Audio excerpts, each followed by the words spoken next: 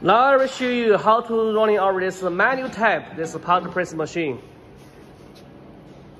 This operator was automatic uh, feeding powder by hand.